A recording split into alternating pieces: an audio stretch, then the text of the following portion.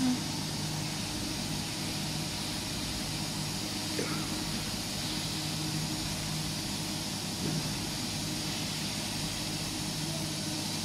在哪呢？我，我忘了。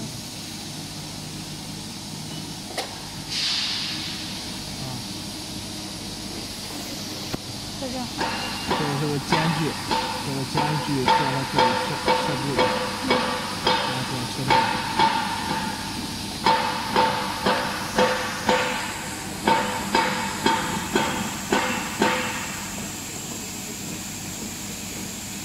这时候需要需要先选中这个，这怎么选中一下？选中了之后，点击应用，然后这里点击右键，这里可以加个，可以留个边儿。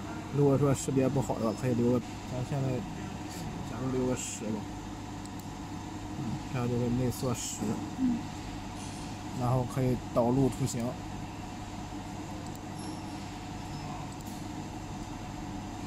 这是这是咱要排版的图形，嗯，然后 OK 就行。然后现在开始把这些排版，点击这个自动排版，点一下，往下摆。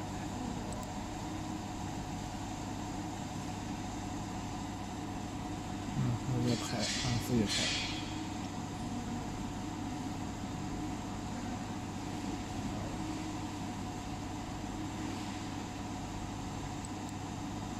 现在就拍完了，拍完之后就开始输出了，输出到雷达里边去，点这个输出，哎呦我去，啊，点这个输出，输出这个，然后这里可以自己建个文件夹，下面可以自己建个文件夹，输入到你想要，是吧？想要导出哪个文件夹就选哪个就行，点击下一步就行了。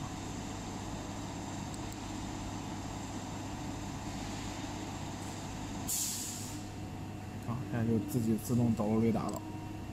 然后这有个外边框嘛，这个外边框不要，因为咱不切它。点二点速度。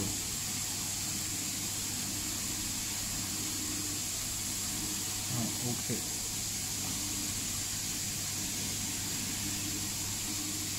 这里选择第四项绝对坐标，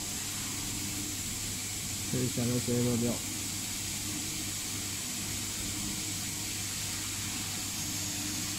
然后点开始就切割了。